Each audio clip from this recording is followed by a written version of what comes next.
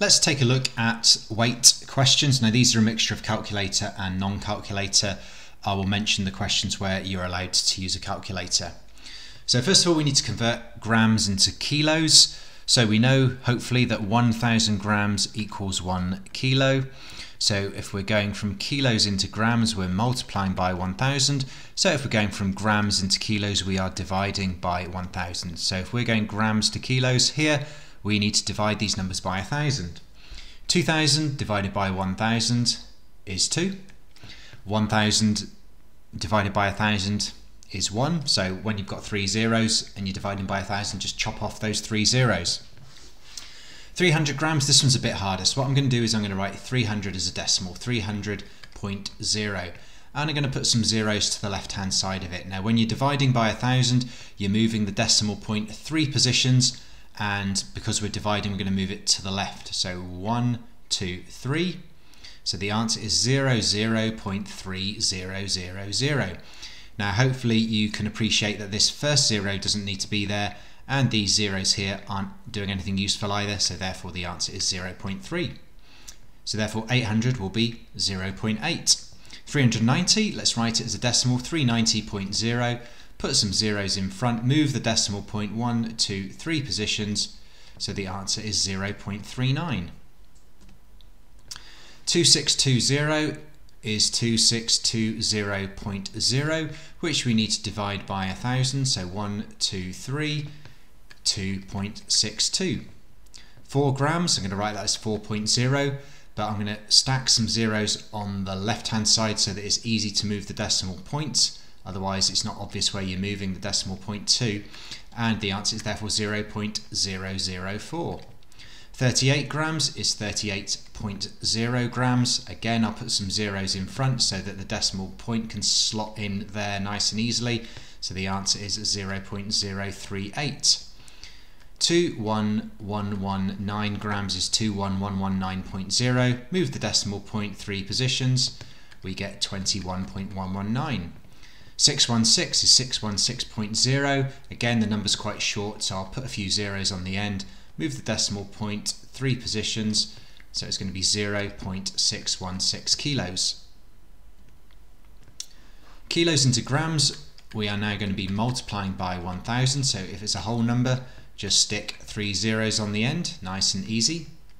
1.4, um, what you might want to do is write 1.4 with several zeros uh, to the right. Multiplying by a thousand means we're going to move the decimal point three positions and this time to the right. So one, two, three, because you want to make the number bigger. So the answer is 1400.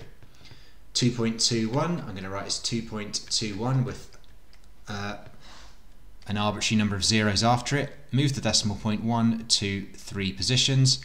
So the answer is 2210. 0.986 again put some zeros on the end. Move it one two three positions. That's 986.0 grams so 986 grams. 0.024 again stick some zeros on the end to move the decimal point really easily. That's 24 grams. 3.981 move the decimal point three positions. 3981 26.2 again decimal point is moving three positions because we're multiplying by a thousand so it's going to be 26200.0 but you can you can forget the point zero so just leave it as 26,200 311 multiplied by a thousand just stick three zeros on the end and finally 0.002 put a few zeros on to be on the safe side one two three that's two grams Question number three, add, uh, we're allowed to use a calculator for this question, although some of them are dead easy, like the first one, 300 plus 200 is 500. 250, probably should put grams there as well, that's 800 grams. 7 kilos, definitely don't need a calculator for that one. D, it's okay to use a calculator. 4022 grams. E is 11.5 kilos. I'm just being careful that we have the same units all the time. Um, so far we do. F, if we add these up, we're going to get 1.209 kilos. G is 184 grams. H 0.037 kilos, I is um, 53255 grams, and uh, J is 69.63 kilos. Question four, and this is also a calculator question. Combined weight of bread, butter and cheese. So 400 plus 150 plus 175 is 725 grams. Butter, ham, chocolate bar, 150 plus 100 plus 65, that's 315 grams. The total weight of the shopping, just add all of these numbers together using the calculator, you'll get 1,458 uh, grams. And this, this question's a bit unusual. Um, Carlos plans to eat the chocolate bar, so he packs everything else into the carrier bag. The carrier bag can hold 1500 grams without breaking. Will it break? Well, no, it won't break. It's not going to break even if he leaves the chocolate bar in there because 1458 is less than 1500, so no, it will not break. Question number five, again, we can use the calculator here. So after day one, he's uh, removed 500 grams. So 2000 grams minus 500 is 1500 grams. So it's 1500 grams and then day two is 1500 take away 220, which again using the calculator is nice and easy. So after day two it's 1280. After day three it's going to be 1280 take away uh, 350, which is 930. And on day four it's going to be 930 minus 90, which is 840 grams. And on day five, it weighs uh, 500 grams. So if it was 840 the day before, and now it's 500, the difference between these is 840 take away 500, meaning that 340 grams of ice was removed. Okay, what I'm going to do first of all with this one, just to speed up these calculations a little bit, um, is work out the combined weight of A, B, C and D. Um, so A is going to be 3 times 500, which is 1500. B is 8 times 1600, which is 12,800. C is 2 times 5,000, which is 10,000. And D is, um, sorry, that was C rather. I've got these the wrong way around. So that is D. That's a bit annoying. And C is 25 times by 100, which is 2,500. Okay, so um, I wouldn't say you need to do what I've just done to start off, but you'll find that by doing the questions, you'll be writing this several times. So I'm just saving a bit of time with my explanation here. So the total weight of plant A, uh, sorry, type A plant pots is 1500. B and D is going to be 12,800 plus 10,000, which is uh, 22,800. The total weight is all of these weights added together and that comes to a total of 26,800. The difference between uh, B and C is the difference between 12,800 and 2,500. So 12,800 minus 2,500, so that's a difference of 10,300. Uh, what's heavier, A and D combined? Well, A and D combined, that is a total of 10,000 plus 1,500, so that's 11,500.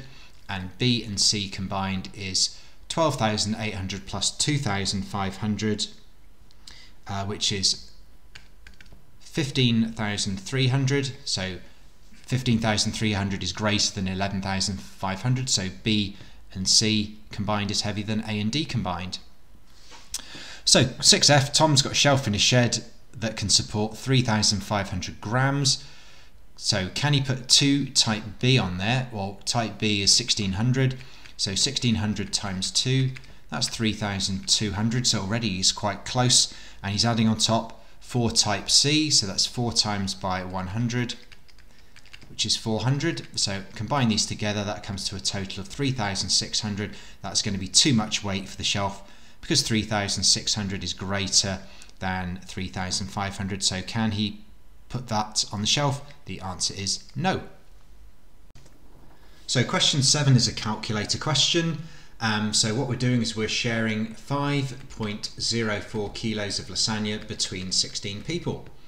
So 5.04 divided by 16 works out as 0.315 kilos per person or 315 grams per person. Now that we've done part A, uh, B, C, D, E are very easy. It's exactly the same, dividing by 18 or 20, 21 and 24. But since we're sharing the same amount, but among more people, that should result in uh, a smaller amount per person. So B works out as 0.28, C 0.252, 0.24, and finally 0.21. So that question wasn't too bad. It was quite repetitive in the end. Question 8, we can use a calculator. Now the key thing here is to remember that we have uh, mixed units. So either change the grams into kilos or the kilos into grams. So for A, what I would do is I would convert 2 kilos into grams, so that's 2,000 grams. So that's 2,400 grams or 2.4 kilos. 3 kilos is 3,000 grams, so in total that's 3,600 or 3.6 kilos.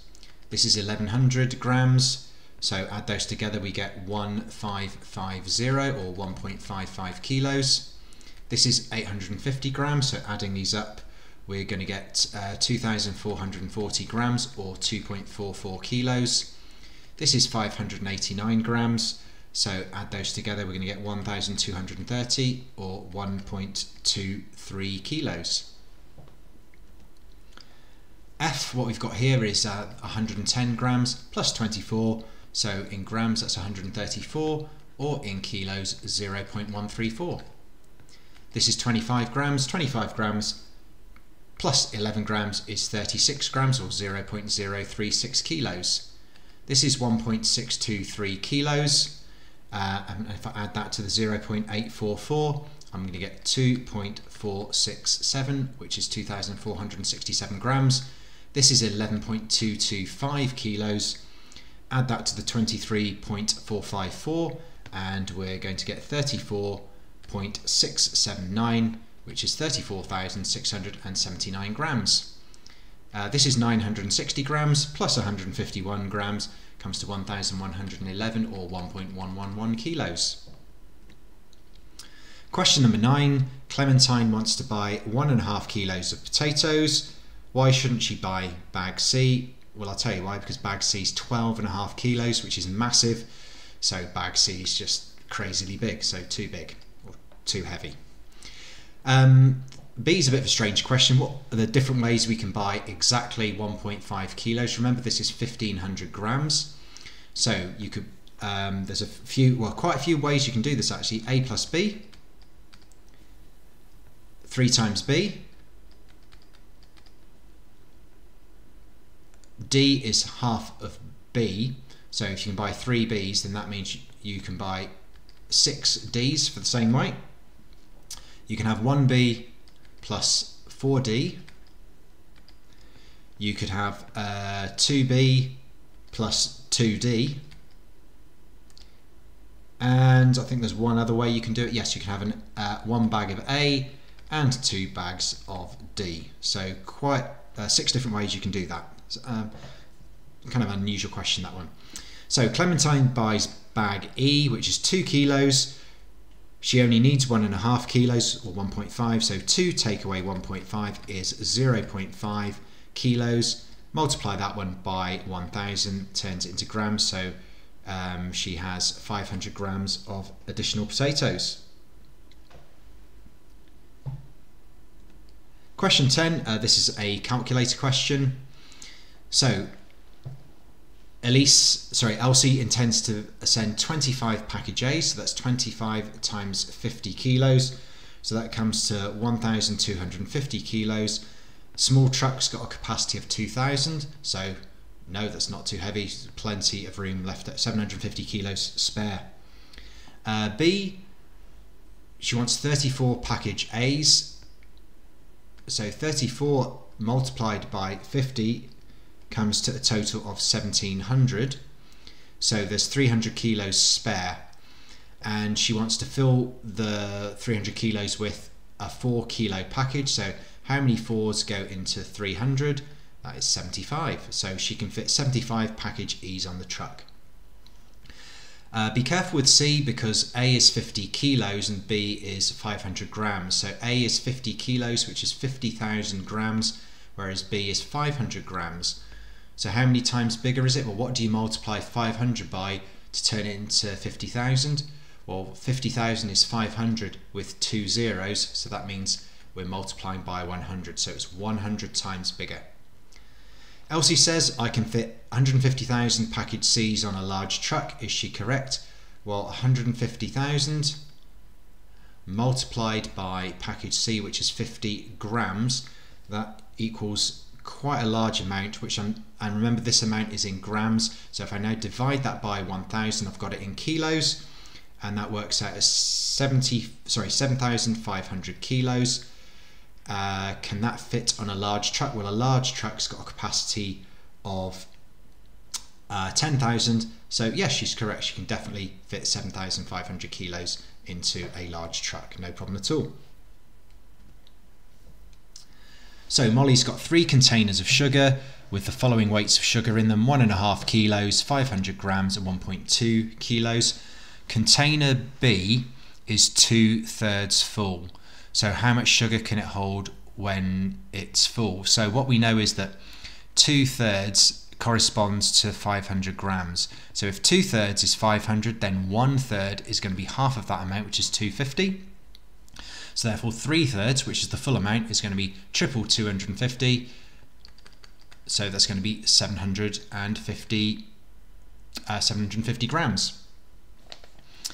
Sugar is poured from container A to container B until container B is full. So we know that container B can hold 750. So let's just write this out. We've got uh, A, which is, I'm going to put this in grams. So that is uh, 1500 grams. B is 500 grams and C is 1200 grams. This might make things a bit easier. Um, so sugar is poured from A to B until it's full. So when it's full, B will have 750. So to go from 500 to 750, we've added 250. So that means A has reduced by 250. So A is now 1,250.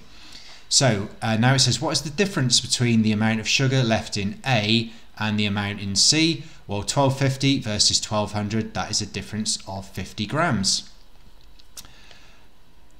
So um, we are just checking to see whether we needed to express that in kilos. It doesn't say, but if you want, you could write that as 0.05 kilos. That would be perfectly fine as well. Question C says half of the contents of container C are poured into container A. So what is half of 1200? That's 600. So 1200 will be reduced to 600 and the remaining 600 will be added to A to turn this into 1850.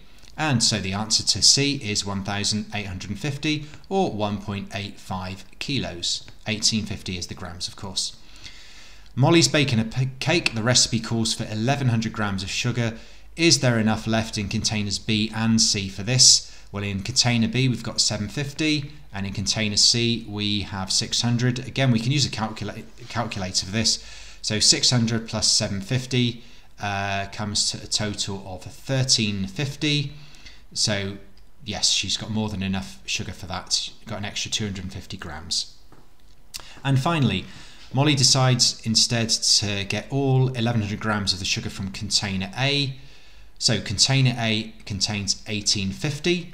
So all we need to do is subtract the uh, 1100 from it. Again, use a calculator, um, but it's easy enough just to do it kind of almost in your head really. Um, but it's totally acceptable, of course, to use a calculator. Um, so the answer is 750 grams.